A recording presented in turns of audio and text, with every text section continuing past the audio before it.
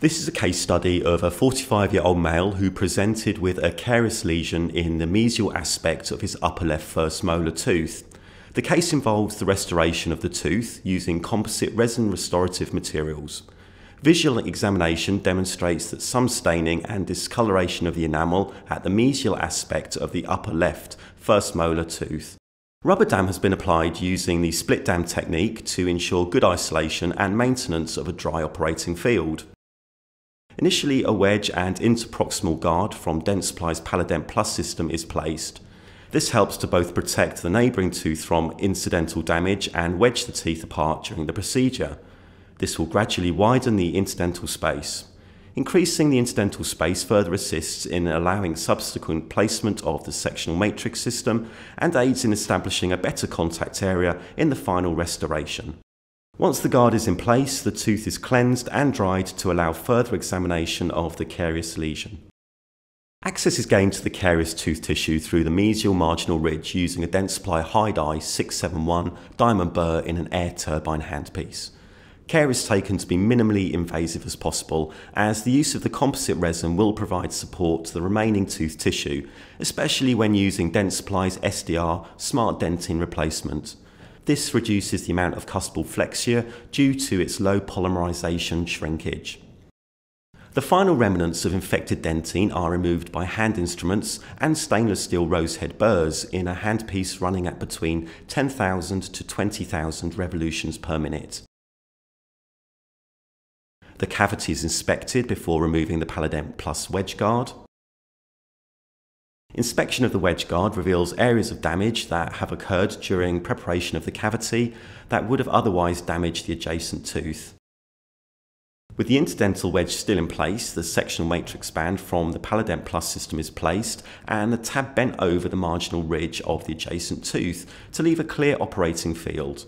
The ring clasp from the system is then placed to fit over the top of the interdental wedge and hold the matrix band firmly against the periphery of the upper first molar tooth to ensure good anatomical form of the final restoration.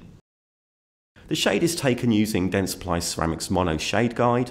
The Nano Hybrid Ceram.X Mono has been chosen in this case due to its level of opacity. This prevents discoloration of the final restoration due to any shine through from the underlying tooth tissue. The cavity is then selectively etched using Dentsply DeTrey Conditioner 36, with only the enamel margins being etched. Etching of dentin has been shown to cause potential irritation of the pulpal tissues, believed to be due to a change in hydrostatic pressure in the dentinal tubules that leads to post-operative sensitivity. Etching of the enamel margins ensures as strong a bond as possible to the margins of the restoration, this counters the polymerization shrinkage that occurs in composite resin materials that can ultimately lead to micro leakage around the margins of the restoration. The etch is then rinsed off for at least 20 seconds and gently dried. Dentsply's XP bond is then applied to both enamel and dentine to ensure an even coverage that is not so thick that pooling occurs in the base of the cavity.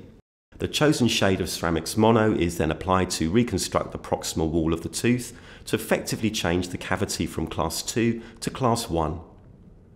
This allows the material to be configured to a close match to the original marginal ridge, then the material is light cured for 20 seconds. At this stage, it is up to the clinician as to whether to leave the sectional matrix band in place or not. Fortunately, with the Dentsply Palodent Plus system, access is not compromised with the band still in place. The base of the cavity can then be built up using SDR, Smart Dentin Replacement, that can be built up in increments of 4mm deep, with each increment being light cured for 20 seconds. The SDR should be built up until it is 1mm below the height of the marginal ridge. The final stage of the restoration can now be built up using Ceram.X mono again, building each cuspal ridge one at a time. Each ridge is constructed to closely mimic the shape of the original ridge using a Dentsply silicone handled burnisher with a zirconium nitride coating that prevents the composite resin material sticking to the instrument. Each increment is tack cured for around 5 seconds before the entire occlusal surface is light cured for a full 20 seconds. The ring and the wedge are then removed before removing the sectional matrix band and the excess material carefully removed using a fine Hi-Di diamond burr in an air turbine. The restoration is dried and inspected in preparation for final polishing.